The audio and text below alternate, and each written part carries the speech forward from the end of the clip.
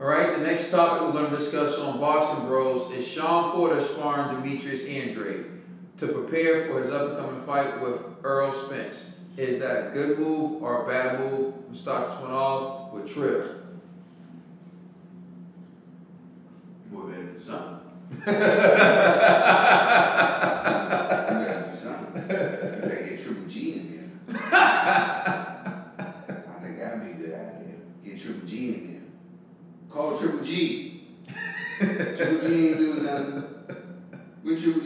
I ain't Triple G doing nothing. Call Triple G. Call Triple G. Call Deontay Wilder. call AJ. Call everybody you can. I got Spence for the next three years. Ned. Hey man, this kid gotta do what he gotta do to prepare for Spence, man, because he know it's gonna be a tough fight. So he gotta do what he gotta do. So call Triple G. G? This is one G. Spirit G. This ain't the triple G that they talking about. That is the G we That's was talking about.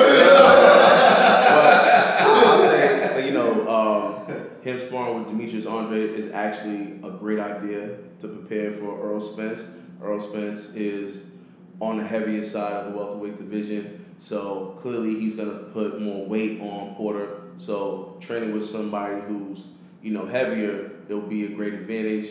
Um, again, uh, like Errol Spence, Andrade is real skillful in the ring. You know what I'm saying? The way he uses combinations, the way he's tricky. That's like great preparation for Porter to go into the Errol Spence fight. So because of that, I think it's actually a great idea. Um, shout out to uh, Porter and his father for bringing them on to their camp. You know what I mean? And hopefully that works for their advantage during you know the the Spence fight. The Spirit G theory. I didn't even know. I didn't even know that this is crazy. If you just think about it, the segment that we was talking about, right? How we talked about how at one time um, Demetrius Andrade was critical of a U.S. fighter, and somebody that was very vocal about him talking about a U.S. fighter who was an Olympian was Errol Spence. And I just brought that up in the last segment. That is crazy. I just just popped in my head. I was like, man, does that have a little bit of? I don't know. I don't know.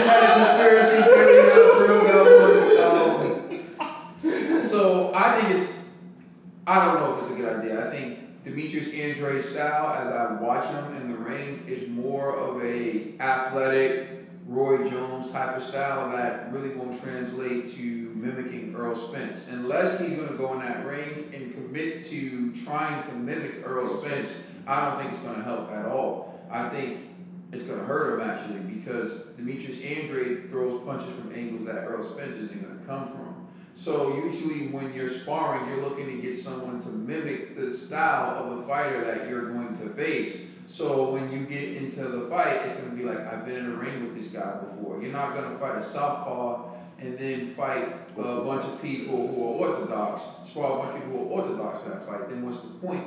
So I don't think Demetrius Andrade's style is is comparable to or comparable to uh, Errol Spence style, which to me would mean that it's not a good uh, person to spar with. Now, if you're looking for like someone with athleticism or whatever, but I don't even view Errol Spence as being as athletic as Demetrius Andrade. That's not the fighter you're facing. You're facing a more technically sound fighter. So you would want someone who's technically sound. I think Andrade's faster than Spence, but I don't think he's as technically sound. Not much faster, but he's definitely more athletic. He's gonna hit you from more angles. So I don't see how it helps him, but you know, if, if he just wants to be in the ring with an elite guy to say he's in the ring with an elite guy, props to him.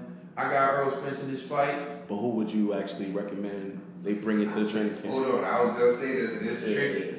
They can't. The guy that I was thinking about, the only guy that I think that can, and they can't because Shawn might fight this guy again.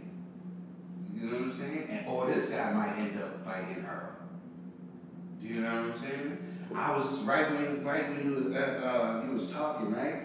I was like, yeah, D, but the only person I can I can see that can mimic uh, Errol Spence would be like a like a Danny. You know what I'm saying? But Danny's timing, with Danny's like like you gotta understand that would be good sparring. That would be a good sparring for Shawn. You know what I'm saying? I just. Like, cause even with Errol, I'm, I'm going, I'm only, I'm going off what Errol said. Errol said he don't think that. He said with other other fights, said the only fight that he would think would be a good fight between him is that even though he don't got a belt, is D. He said he's the only one that can see him hanging with him. He was said because everybody got this thing about Danny, like, but he like he said, he said Danny's timing. And how Danny does a lot of things that he does. Yeah, but like what Kaden was saying, they don't fight the same. You know what I'm saying? Like Garcia just doesn't fight like Spence, so I don't- I, don't know if that would I, I done seen a little some similarities. Yo, Dan's too flat-footed to You know fight what I'm saying? I seen some, I seen, I seen Earl be very flat-footed. Danny's bad because you don't want to take heavy punishment, Punishment before you too. go into your fight. I think But look at, look at Demetrius is a uh, 160 pound fighter. that's my point. I don't necessarily and and his style was incomparable. Like, to me, I would say like if you could get a Charlo in there to spar with him, but Charlo- then but but then- Charlo's but then- down but- with but- Spence. but- but- but that's versus my point. And the other thing is your confidence to get shot because you're gonna lose a lot of those rounds. Yeah. Like you need, you know, this is where you what do you think about um with Dean be a good sparring? I think for to prepare for Errol Spence, Danny can box, and I think uh, even Mikey Garcia said this. Uh, he said Danny's a good boxer, and he showed it against um, Matthysse. And they said that when Danny was an amateur, he showed his boxing skills more. But since he's become a pro, he relies more on his power. So I think Danny, the guy who fought um, Matthysse, and the guy who showed some boxing skills against Judah, uh, would be a good good preparation because the tech Danny can be technically sound. I think in G's mind, he's thinking like about the Danny who's winging those powerful like Oh no no. And I think where you're coming from is you're talking about the Danny who boxes, the Danny who's technical. And so like not the Danny who saw Granados and said, I'm Oh, yeah, taking yeah, well, yeah, yeah, Danny that rounds. sets Yeah. things up. Yeah. Like when he did to like uh, I always mention that Amir Khan thing because everybody always says he was he threw a blind left hook, but as you keep seeing, he kept throwing that to the body to to debate Mhm. uh, Amir Khan in. You know what I'm saying? Like a lot of things that I do think that a lot of things that they do are similar. You know what I I think he's a good fighter. I think it'd be it'd be good sparring, but truthfully, I don't think you spar someone like Danny before a major fight. Yeah, Danny- And I don't think you spar someone like Demetrius Andrade before a major Yeah, fight. that's And that's my Yeah, point. Like I don't understand why they're bringing him in and what they're what they're hoping to accomplish with it. But you know, if They they got a great relationship. yeah, if they feel like it's gonna it's gonna help. But who would you bring? Like if you had to pick somebody, so I'm assuming you'll pick either a, a, someone in the welterweight division. Who I bet someone bigger than a welterweight because Spence gonna be bigger that is than a, That than a would. Uh, like who the kid Jamie? Jamie? You know what? I'd probably bring someone like uh, Monroe Jr. Um, and let me see who else would I bring in? Bring in someone like um. You can't. It's you just need a boxer. Someone with boxer style, but who's not going to really hurt Gabriel? Rosado. I mean, Pa- he, he's not bad. He's, he's solid. Yeah, you know what? You, you could get you could get work from him. But I mean, like the chief guy who you're looking to like push him and mimic. I mean, I I probably look for someone like Monroe. Yeah, I did. We said Monroe. I that. Jr., Yeah, like that's that's probably who I would bring. Yeah, that's it. Yeah. So this is Boxing Bros. Please like and subscribe, leave a comment, let us know how you feel, and check us out on social media. That's Facebook, Twitter, and Instagram.